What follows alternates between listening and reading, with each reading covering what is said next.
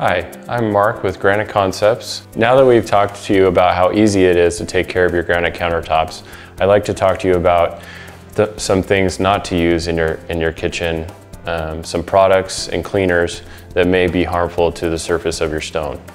Uh, things like Comet, Ajax, uh, bleach, and straight vinegar are too acidic and too basic for uh, cleaning in your kitchen. Uh, if you do have uh, something like chicken juice or things like that on your countertop, you can always use Clorox wipes, but straight bleach out of the bottle will definitely hurt your countertops. Comet and Ajax are too abrasive for the surface and ca can cause etching uh, of your stone. Now I'll move into things such as cutting boards and um, hot pads uh, to use in your kitchen. These are always things that should be present in your kitchen. You should always use them whenever you're cutting up anything in your kitchen. Um, always use a cutting board.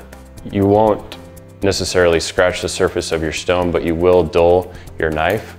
Um, and over time, if you do, do this in the same spot over and over again, you may cause uh, some etching in your surface.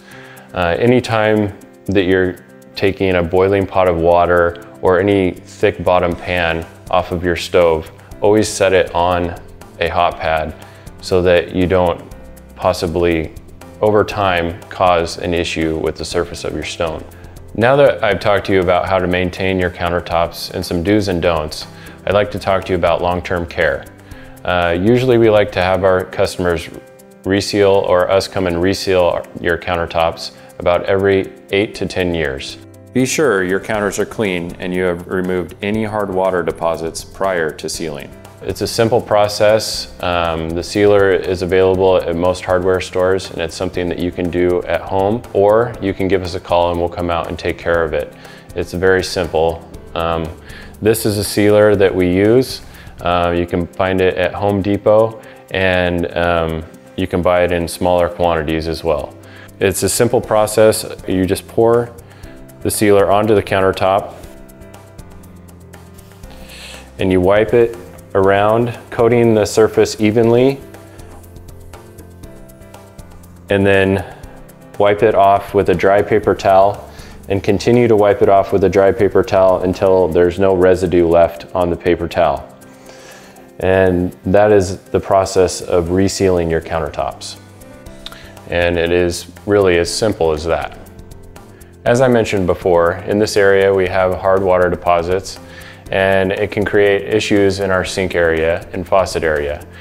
Uh, what I'd like to show you is a way to take care of this, um, this stubborn hard water deposits. It's very simple. It takes a little bit of elbow grease and some a straight razor, and some 4-aught steel wool. I'm just gonna take the razor blade, nice and flat on the surface, and scrape the stone. And as you can see, the hard water deposits are scraping right off of the stone. And you can tell when you start to get hard water deposits by the stone, the stone starts to get dull looking and it doesn't have that shine and no matter how much you wipe it with the cloth, it doesn't get shiny.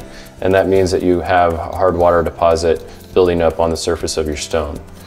As you can see, just a little bit of work and I've gotten this area all the way free and clear of any hard water deposits. If there's any residual um, striations or anything left, the 4-aught steel wool will get those off very easily.